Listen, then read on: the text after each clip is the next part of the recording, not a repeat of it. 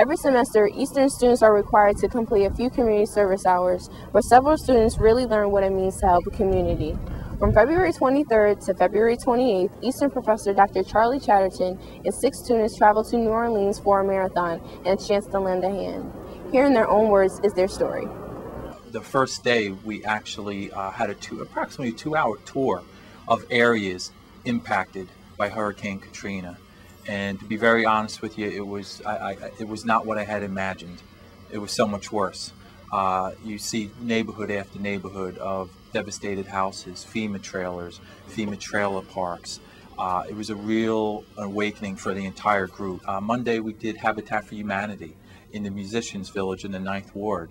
And probably the biggest, the most vivid image that I will remember is being up on the roof and seeing a school bus go down one street and then on another street see a National Guard Humvee.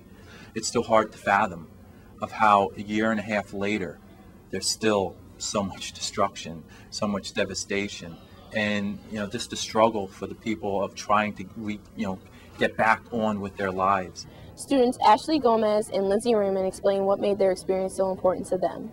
For all those people that have gone through all of that and just to like welcome us with open arms and go out of their way to help us when they're the ones with like you know holes in their houses and you know all that damage and things like that just to just to be like received like that from from the people is, is a good feeling.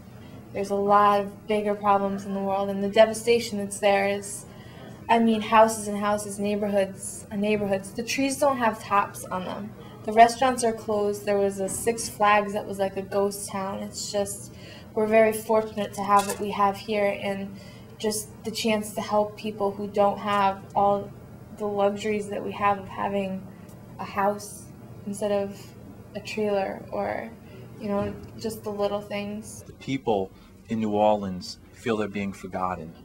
They don't want to be forgotten. They're not looking for a handout but they, they want to recognize they will need assistance at all levels Reports show that there are still 63,000 families living in FEMA trailers and another 37,000 families depending on rental assistance.